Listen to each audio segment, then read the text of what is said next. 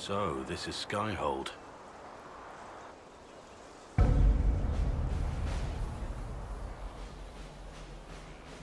Come, let's walk the ramparts.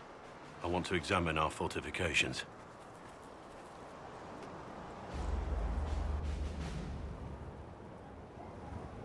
We'll be able to see Corypheus coming from miles away.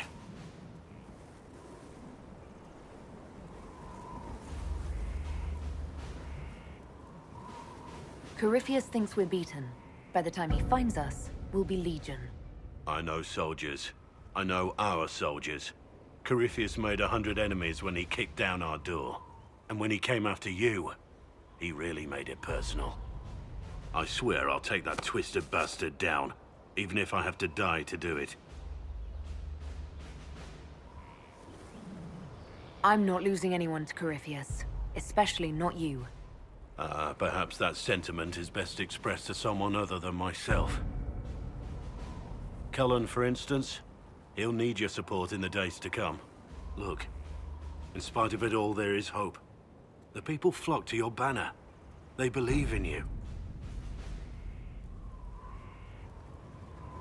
Tell me honestly, are you what they say you are? Andraste's chosen? There is so little I remember. What if they're right? Does it even matter? Don't you see what you are to them? Without you, they'd be consumed by despair. We all would. They need you to be Andraste's messenger. It gives them hope. The truth doesn't matter. Ah, listen to me talk. Your time is valuable and I've wasted enough of it.